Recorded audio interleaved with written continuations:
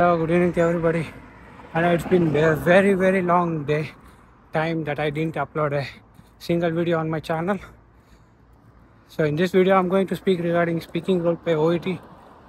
I'll make it, I'll give a basic idea, and I will do a dedicated video going through the official OET website, and I'm doing from two days doing research. So I need to give information which is clear and genuine which is reli- reliable to you. So, guys, it is taking time. And speaking role play, you are going to do two role plays.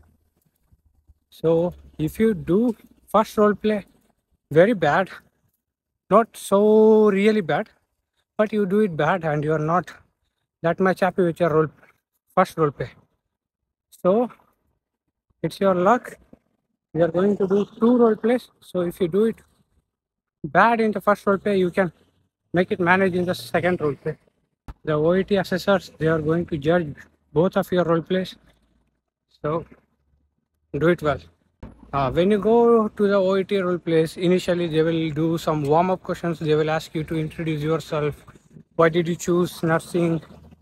What is who is your role model, etc., etc., to understand your accent and your pronunciation. Oh my gosh, so many spiders. Okay, let's get back. It's going dark there. Okay, then they will give you the role play cards. Two minutes to prepare for the OET role play. So at that time, they will give you the role play card. There's a pencil with you, so you can make use of that time. You can make notes on the role play card. They're not going to judge you on that.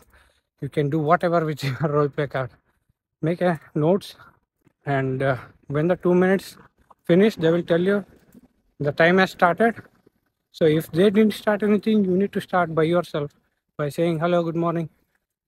My name is uh, darshan. I'm one of the registered nurses working in this department. How can i help you?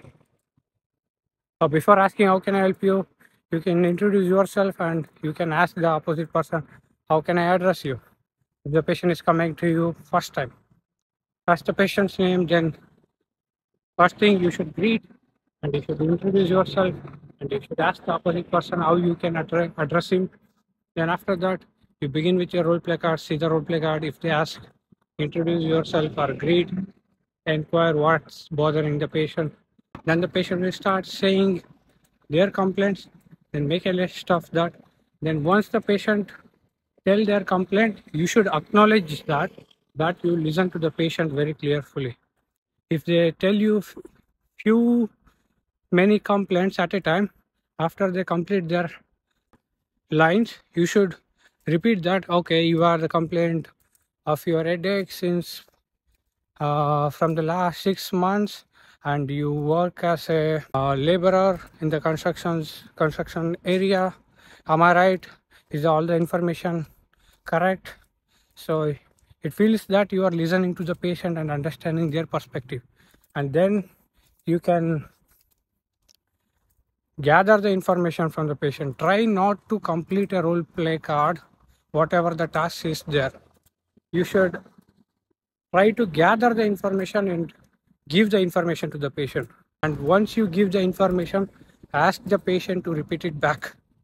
Sorry not repeat it back because it repeat it repeat it back is same so, so if you ask the patient to repeat it, so the patient will say whatever you told. So the OET assessor who is going to judge your OET role play, they will feel like, okay, this nurse knows what is doing and what information is giving and understanding whether the patient got all the information correct or not. So it will give you extra points there. And your success rate in passing OET speaking is very high and then if you ask few questions to the patient like uh, in the OET task role play if they are having so many questions at a time you should not ask all the questions at a time. You should ask one by one. So it shows that you're not making the patient confused with so many questions. You're not over, overwhelming overwhelming overwhelming him I don't know after coming to UK what happened to my tongue. Sometimes it's really struggle. Maybe due to the weather I don't know. What's the matter? Okay, leave that matter aside.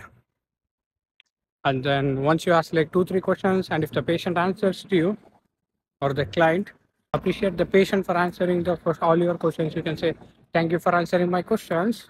And yeah. And uh, if your role play cards has like specific roles, you need to ask first task like this and the second task. If you got two, three questions back to back. In the beginning, you can say like, okay, Mr. David, before proceeding further, I would like to get more details regarding you. So I will get a detailed picture of your condition to inform to the doctors or understand your condition and bring you the best uh, solutions to your problem. Is that okay for you? Then obviously the client or a patient will say yes. And then you can say like to, to begin with, then you ask your next first role play and then you can ask in addition to that then ask your uh, second role play task question if you're having last question ask the question then thanks the patient for answering your question and one more thing if you didn't complete your role play task within five minutes allotted time there is nothing to worry they are not going to judge on the time they are going to judge whether you are having the eligibility or the ability to speak with the patient, understand their perspectives, and gather the correct information and give the correct information to the patient. That's what they are mainly concerned. So if you didn't complete a last task in the role play, so don't worry, that is least bother. Try to complete all the tasks with uh, perfect meaning. That's all it matters. So once you complete your role play card, if they tell you to stop, stop it. That's it. Okay, I'll make a dedicated video on this going through the official website as I said earlier. So tune in to the channel and watch wait for the next video. Bye guys.